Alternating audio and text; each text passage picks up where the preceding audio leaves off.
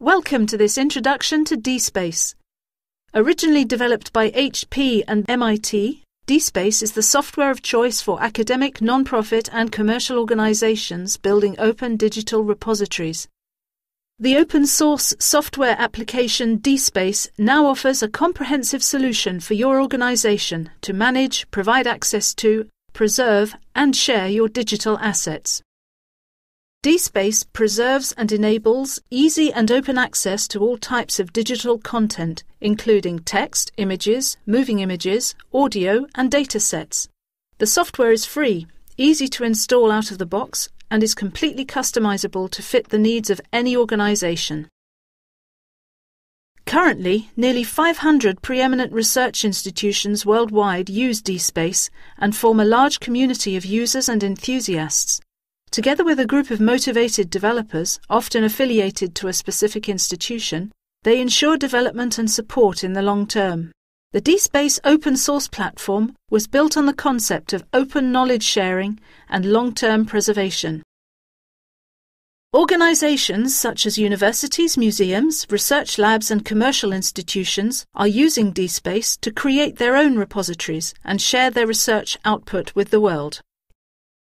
Institutions use DSpace for a variety of different content types.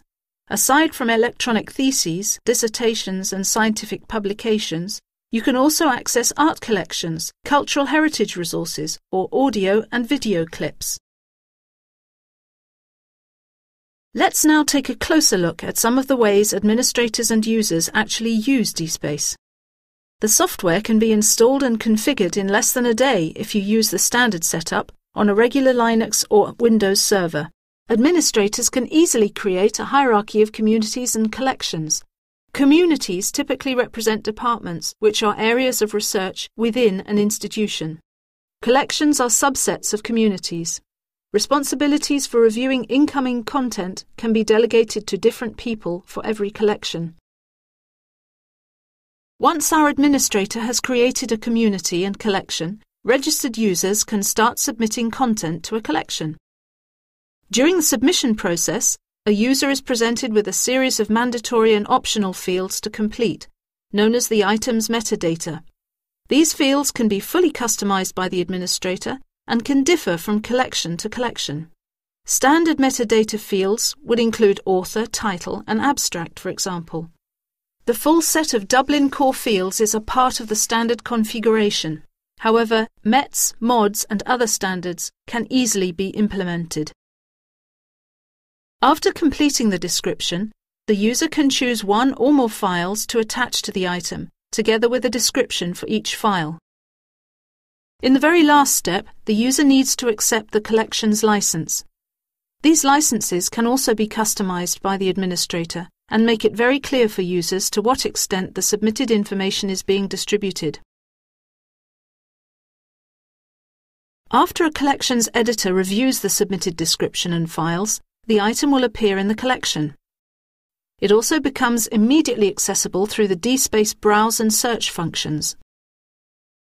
Browsing the communities and collections will show you the structure of the repository.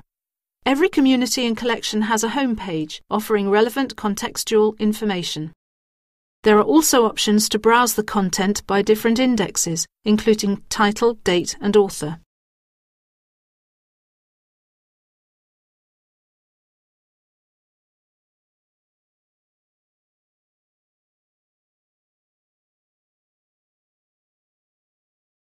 The simple search page offers a Google-like search interface displaying the results sorted by relevance. Advanced search allows you to specify which fields should contain specific words or sentences.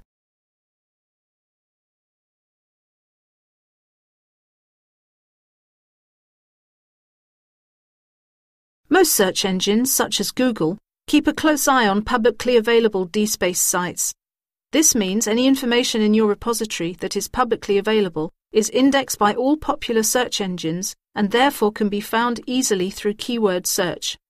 In some cases, more than 60% of the repository's visitors arrive through a search engine. Even after six years of intense development, DSpace continues to evolve to meet the ever changing needs of the community, and to take advantage of new technologies and web-based services. From preserving endangered Afghani manuscripts to creating virtual museums, organizations are pioneering ways DSpace can be used for a wide variety of purposes. The DSpace Foundation brings together a diverse group of organizations from over 50 countries.